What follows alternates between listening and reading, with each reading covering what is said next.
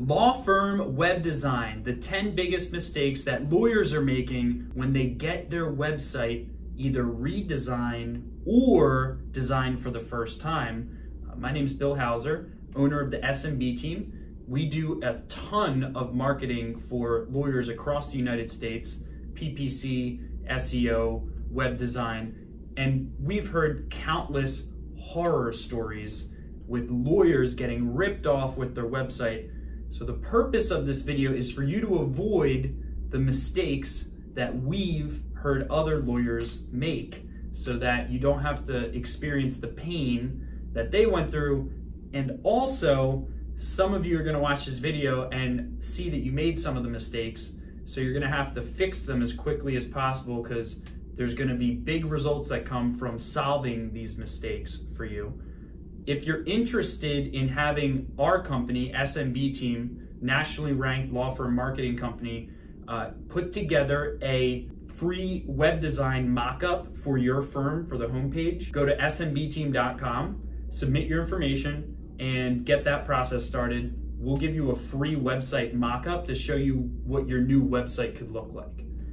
Cool, cool. So let's dive into the 10 biggest uh, law firm web design mistakes. What I got here are, we'll call them reports that I put together before this video. So I'm gonna go through the, the mistakes right here. So number one, not clarifying your law firm's website goals. This is vital. Whenever you go out on any big endeavor, you need to know what the goal is. So many lawyers, the most common denominator is they do not set a goal for their website. Your goal is going to relate to your target audience. Your goal is going to relate to the way your target audience makes decisions. So, are you in a fast decision making niche of law or a slow decision making niche of law? For example, personal injury is a fast decision making niche of law.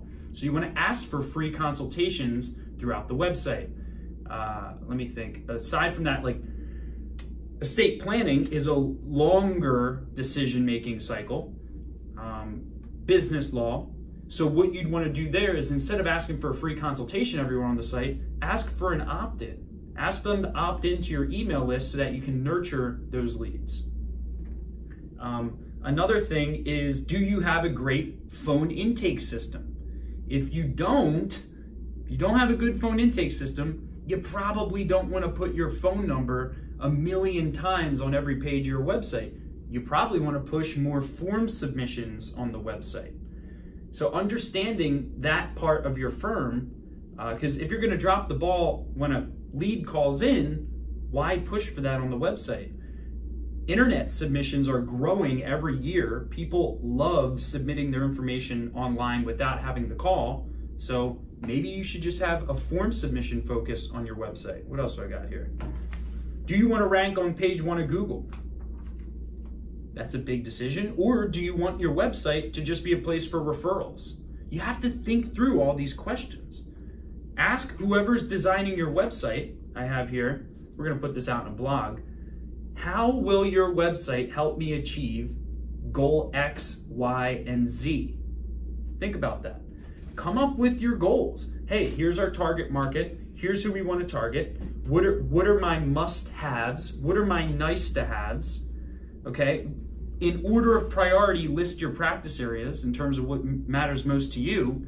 Then tell whoever's designing your website, how are you going to help me achieve this goal? How are you going to help me make this practice area first on my menu? How are you going to help me do X, Y, and Z? The biggest mistake is not knowing what your goals are with the website. Okay, mistake number two making snap decisions on your website. Okay, making snap decisions. So think of this. Most lawyers that we talk to, they think that the decisions they have to make with their website are, you know, just another task, waste of time, not that important. Um, need to get this off my plate. This is busy work, right? Wrong. That is not right. Your website is your online storefront things, markets are getting tremendously more competitive online for law firms. We all know this. And your website is your home base for everything, for all of your advertising, right? You need to make absolutely sure that you put this as a big priority for you, um, a big potential source of new clients. So, so the mistake here is that you make snap decisions on your website, meaning you go, yeah, let me get this off my plate. Let me just hire, you know, a family friend or, or someone to do this quickly. No, that's not good. Okay, this is a place where all of your potential referral partners will visit. Every person you ever interact with is going to visit your website at one point. Okay, mistake number three not owning your website. This is a big one. Okay, maybe this should be number one on the list. Um, this is a huge mistake. So, some marketing companies will hold your website hostage. Now, I can feel the, the energy right now shift because a couple of you some of you watching this video are going to have been through that painful experience. Um, always ask the question, no matter who you're dealing with. If I terminate our relationship, do I get to own my website? Okay, you ask those exact words in question form, and you will be mind boggled at the number of companies that will say, no, we, we retain ownership of X, Y, and Z. If that's the case, ask about a buyout clause see what it would cost to buy your URL, buy your content, etc. Okay? Mistake number four, this is a big one too. Having a non-qualified person build your website, okay? Having a family member, having a new per, you know secretary you hired for your law firm, uh, you know, design your website. Not good. You want to work with someone who has been there and done that, okay? Has been through all the nuances of ranking a law firm website in a competitive market and all the trials and tribulations that come with that, okay? So don't have a non qualified person build your site. Um, that's big. Number five, we have designing your website. This is a mistake, okay? Number five, designing your website for desktop first versus mobile first. Okay, we do a lot of case generation and lead generation for lawyers across the country. 80% of the leads we generate come from mobile devices. Okay? However, lawyers shop more often through desktop. Okay? My company, SMB team, markets to lawyers.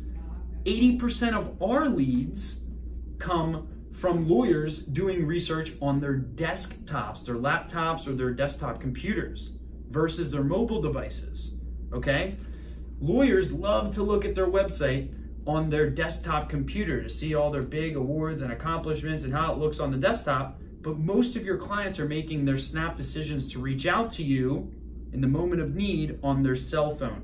So be, I'd argue, four times more worried about your mobile layout than you are with your desktop layout. Big, big, big takeaway here. Also, some websites that load fast on desktop don't load fast on mobile. So always be aware of that. If your website's loading fast and looks great on desktop, that is not a clear ticket that it's going to do the same thing on mobile. So question everything on mobile. Okay, so we're halfway through. Um, we're going on to mistake six. Again, before I forget, um, if you want to have us put together a free web design uh, mock-up for your firm, go to SMB, small medium business team.com, smbteam.com, submit your information, and we'll get that process started. So number six, you ready for this? Woo. Show faces, not badges, okay? So if you haven't gotten this done already, you have to get a professional photo shoot, okay? People buy from people, not badges, okay? So show your face on your website, and your clients will feel way more trust in their moment of need to reach out to you. Mistake number seven, okay? Making your content on your website you focused versus them focused. It's a big mistake. We have this experience. We have this. We we do the we we we we we we, we I I I I I. You lose connection with your audience when you speak in we and I all the time. It is important to have a case results page on your website. That's important. I'm not saying that's not important. What I'm saying is that every page on your website should not be about you. We have this experience. We do this. Here are badges. Here's the. You would be shocked to see the results we get from making it about the client. Hey, are you going through this? Are you looking for X, Y, and Z result? Are you confused and don't know what to do? Get a free consultation. This is not rocket science, it's emotional intelligence. And all great copywriters on websites know to make it about the person who lands on that site. Now you're thinking, oh, but what if I don't show them my badges and, and, and they go to another lawyer's who shows off their badges more? Not gonna happen, okay? People are going to do more research usually after they feel that impulse to reach out to you. Your goal is to get their your website to give them that impulse. Okay? And if you're in a long tail niche where they make takes a while to make decisions, then get them to opt in through an emotional quick decision. So that is really important. Then after you have you focused content, then start worrying about putting SEO keywords in your blogs and on your pages. Okay? So make it about them first. Uh, let's see. Mistake number eight. Man, this is uh, these are some big mistakes. Not budgeting for video. Okay, not budgeting for video. So I highly suggest that you, if you haven't had videos created for your firm, you change that immediately. Just look at statistics on how much more, look at the trend of how people are digesting content nowadays. It's audio and video first. It is the fastest growing segment of content right now. So, if everything on your website is written content and photos, it may be time to budget for video. Video is a one time expense that you can use on all of your follow up materials and every advertisement follow up that ever happens. So, it is a big ROI that you will get from video. I can't tell you the number of clients we've gotten that saw our video, that we followed up with our video and said, hey, I love the video. I, I felt I, you know, I needed to reach out. I liked X, Y, and Z about you guys. So that's important. So budget for video. Mistake number nine, okay? No above the fold lead capture or phone number. No above the fold lead capture or phone number, okay? On every page of your website, you need to make it so that someone who visits that site at least can make an immediate decision. Okay? Click the call, submit their information, boom, boom, boom.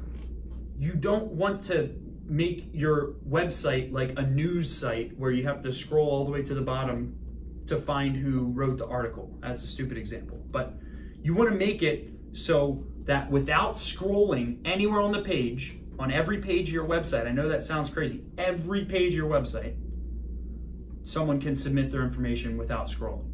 Boom, click, boom.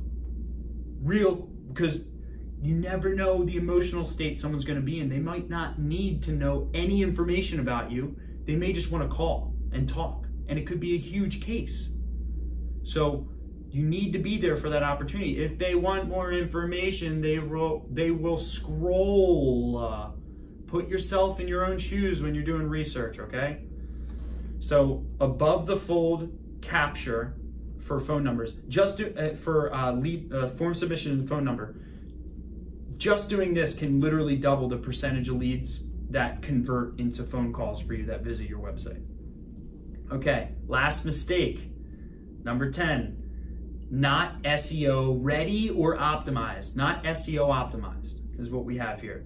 Huge mistake. I can make literally a 10 hour video on SEO optimization for, for law firm websites. Bottom line is this you can have the nicest looking website in the world, and Google doesn't like it, and you're screwed, right? We all know this. So there's a couple of things to keep in mind. Now, we, we have other content on this, and, and we help in other ways with SEO. But the most important thing to keep in mind is you have to make sure that the website loads quickly on mobile first and desktop. Okay. Now, the more pages you have, the better hosting plan you need to have. So we, we know all the hosts to use based on the size of your website. Um, the next thing is you're usually going to have the best bet using WordPress and uh, a, a uh, plugin on WordPress, design plugin, which is called Divi, D-I-V-I, Divi. We've just seen the best success using WordPress as a content management system, CMS, and Divi as your drag and drop editor because of the coding. Um, and then separately from that, if you have a rapidly loading website, you have a good CMS, okay, you're using something like Divi, um, then you need to make sure your website is properly using meta tags and descriptions. And, and the titles of your blogs and pages are strategically using the keywords you want to rank for for each page. Very simple. Now, backlinking is another component which we're not going to talk about in this video, but if you follow those things, you'll do a pretty good job. So those are the 10 biggest mistakes. I hope this uh, research report was helpful for you. Uh, if you already made them, get them fixed quick. We can help with all 10 of these problems if you're encountering them right now. But for those of you who uh, we helped you prevent make the, uh, making these mistakes, I'm really happy about that because I know the pain it can cause. Uh, last time I'm going to say this, my company's offering free web design mockups, okay, where we will give you a mockup of how your new website could look like. You can go implement it on your own. You can hire a developer, whatever. We want to give value to you. Um, so uh, submit your information on smbteam.com if you want to take advantage of that. Uh, and if you're interested in SEO or PPC or really anything, go to smbteam.com and submit your information, and someone will follow up with you and show you what's worked best for the law firms that we currently work with nationwide. Um, so this is a lot of value, valuable information in this video, so feel free to play it back, stop some of these sections. There's, there's a good number of gems here that can save you a lot of time and money. Uh, share this with any business owner you know that could benefit from knowing these mistakes. A lot of these mistakes uh, uh, also need to be avoided in other niches outside of law firms. Um, if you have any specific questions, put them in the comments below of the video and we will do our best to get back to you.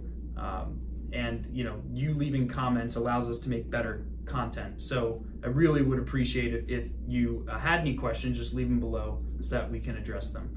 So be great and don't make these mistakes. So thank you for tuning in.